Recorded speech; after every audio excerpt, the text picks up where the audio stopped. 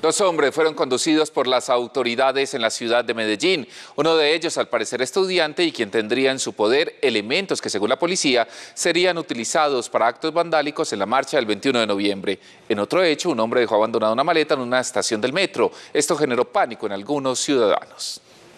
Eh, Uno de los casos se registró en la mañana de este martes cuando un hombre de manera sospechosa deja una caja abandonada en la estación San Antonio del metro. Luego de que las cámaras registraron el momento, las autoridades realizan un acordonamiento y comienzan a abrir el paquete en el que solo encuentran una camiseta. Dentro de esta maleta hay un elemento, al parecer eh, como un trapo, una camiseta que está impregnada de orina. Eso pues es lo que da inicialmente el positivo para el primer canino.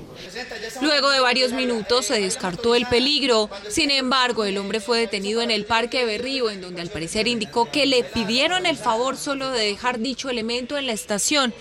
En otro de los casos, un supuesto estudiante también fue conducido luego de hacerse varios allanamientos en Medellín. Algunas residencias habían unos eh, elementos eh, que afectarían la convivencia y, utilizados para actos eh, vandálicos el próximo 21 de noviembre. Las autoridades hicieron un llamado a los ciudadanos para no dejarse utilizar como instrumento por parte de algunos delincuentes que solo pretenden alterar el orden público durante la jornada de las marchas.